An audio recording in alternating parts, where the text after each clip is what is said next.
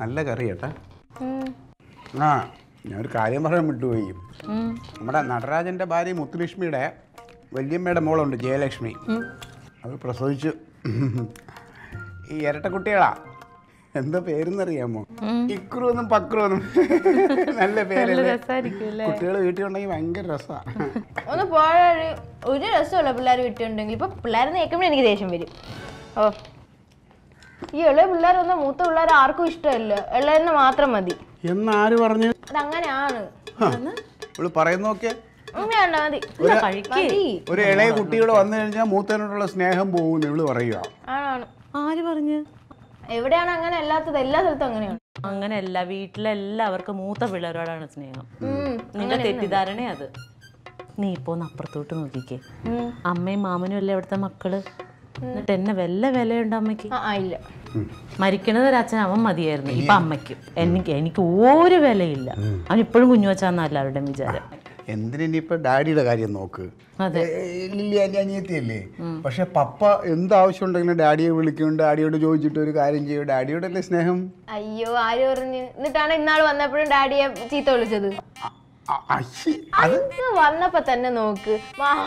പപ്പ എന്തുമാത്രം വഴക്കും അടിയും കൊടുത്തിട്ടാണ് പോയത്? അതൊക്കെ സ്നേഹമുള്ളോട്ടാ അതെന്തുകൊണ്ടാണ് മനസ്സിന്റെ ഉള്ളിന്റെ ഉള്ളിൽ സ്നേഹം അത്രയ്ക്ക് ഉള്ളത് കൊണ്ടല്ലേ സ്നേഹമുള്ളിടത്തല്ലേ നമുക്ക് ശിക്ഷിക്കാൻ പറ്റുള്ളൂ. അതെ അതെ ആരെങ്കിലും എന്തെങ്കിലും പറയോ? അങ്ങനെ എന്തോ വഴക്കിട്ടെന്നും പറഞ്ഞിട്ട് നീ ഈ പിള്ളേരോട് ദേഷ്യം വെച്ചിട്ട് എന്താ ഇവിടെ നിങ്ങൾക്ക് എന്റെ അടുത്ത് ഇത്രയും സ്നേഹമുള്ള എന്തുകൊണ്ടാണ്? ഞാൻ ഒറ്റ മോളായോണ്ട്.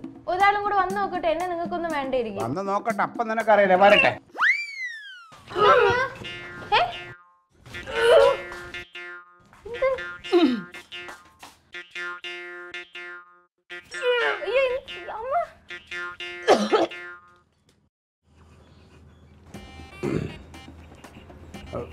നീ ആ ഗുളിക കഴിച്ചായിരുന്നു അതെന്തോ കഴിച്ചോ?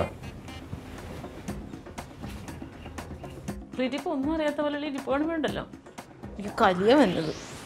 ഇപ്പം നിങ്ങളെല്ലാവരും കൂടെ എന്നെ കുറ്റപ്പെടുത്തണണ്ട ഞാനേതോ വലിയ കേസിൽ പ്രതിയെ പോലെ ആയി അവസ്ഥയിലാണ് ഇതിപ്പോൾ കർത്താവ് നമുക്കൊരു അനുഗ്രഹം തന്നു. അത് നമ്മൾ സ്വീകരിച്ചു. കൊച്ചിന് ഈ പ്രായം കഴിയുമ്പോഴല്ലേ കർത്താവ് അനുഗ്രഹം തന്നത്? പറഞ്ഞിട്ടുണ്ട് ഞാൻ.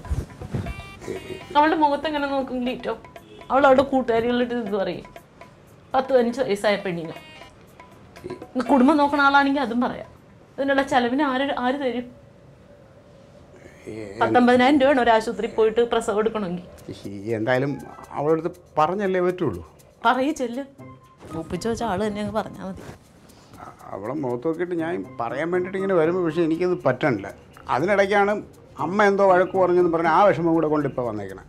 പിന്നെ അവൾ അവളുടെ അപ്പന്റെ അമ്മയുടെ അടുത്തോട്ടല്ലാതെ എങ്ങോട്ട് പോകും? അവിടെ ചെന്നപ്പോൾ അതിനെന്താ സങ്കടം വന്നിട്ടാ വന്നത്? അവളോട് പോയി കാര്യം പറ എനിക്ക് പറ്റൂല. എനിക്ക് ഞാൻ പറഞ്ഞില്ലേ?